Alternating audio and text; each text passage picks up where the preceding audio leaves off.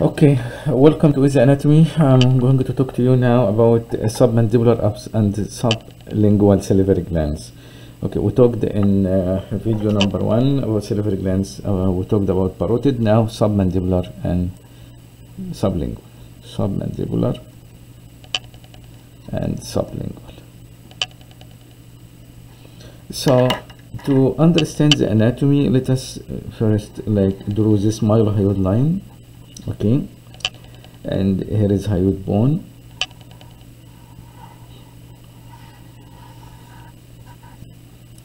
and as you know here is mylohyoid muscle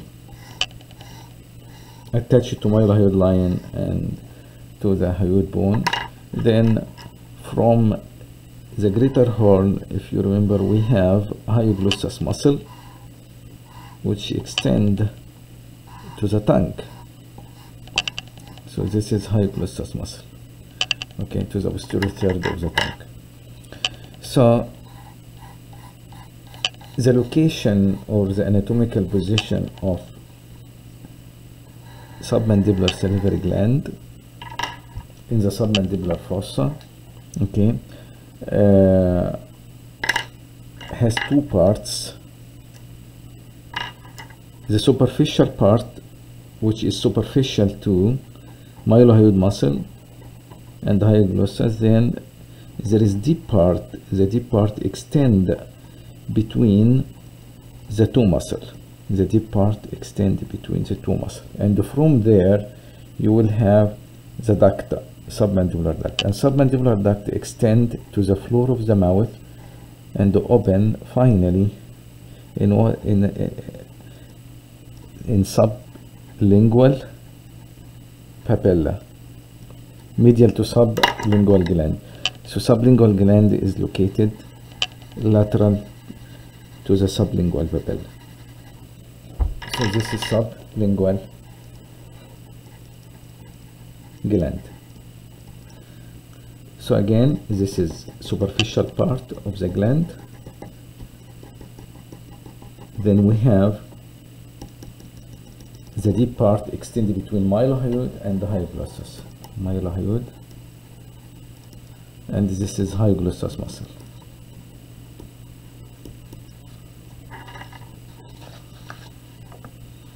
Hyoglossus muscle. Okay. Superficial part and here is the deep part and here this is Wharton duct. Wharton duct. Uh, important relation. What are important relation to the gland? The gland covered by skin fascia and then there is cervical branch of facial nerve descend superficial to it and the nerve to mylohyoid so superficial to the gland keep in mind that you might during dissection dissection you might find cervical branch of facial and also nerve to mylohyoid muscle. Nerve to mylohyoid okay? The deep part of the gland is located and the duct located between two nerves lingual nerve and hypoglossal nerve. Lingual nerve and hypoglossal nerve. The lingual nerve if you remember lingual nerve has important relation to the duct is going to hook around the duct until it reaches to the tongue. This is lingual nerve. So the lingual nerve is very closely related, has close relation to the duct. So this is lingual nerve. Hypoglossal nerve again is going traveling between mylohyoid muscle and hyoglossus muscle and also is going to cross below the level of the duct. So this is hypoglossal nerve.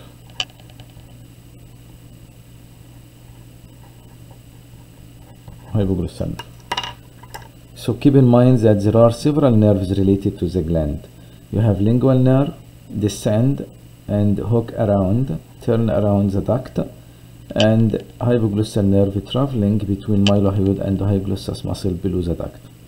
Okay nerve supply of the gland is coming from this nerve. What is this nerve? This is chorda tympani, which is a branch of facial nerve, chorda tympani.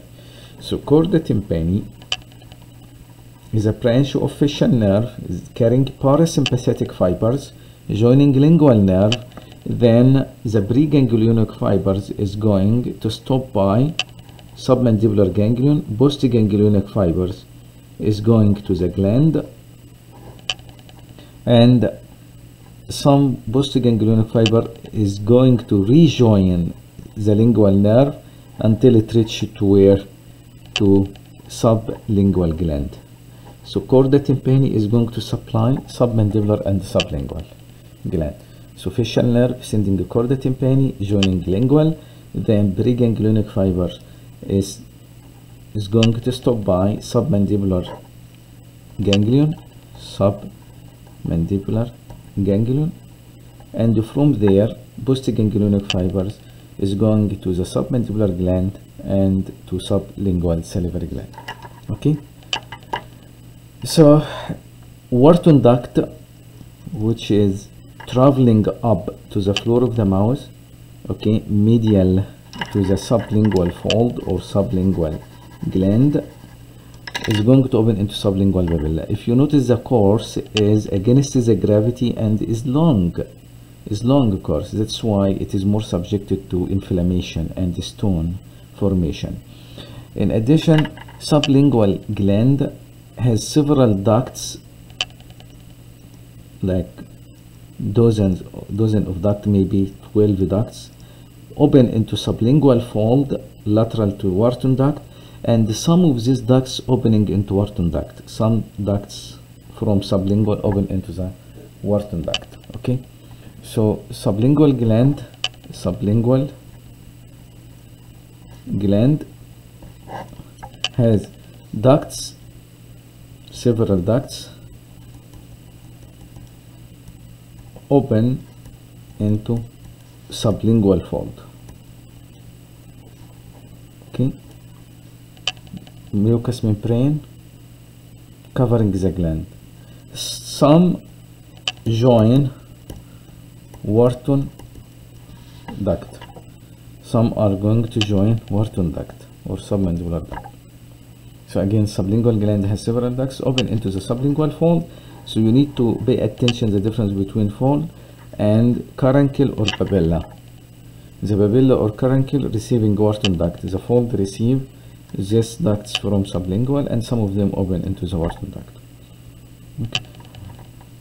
We talked about the nerve supply, which is chorda tympani, okay, from facial. How about blood supply? The blood supply, you have facial artery, which closely related to the gland. Facial artery is traveling at the posterior part of the gland, then come between the gland and submandibular fossa and send the glandular branches. So the arterial supply arteries branches from coming from facial and some branches from lingual, facial and lingual. Veins the same is going to facial vein. Okay.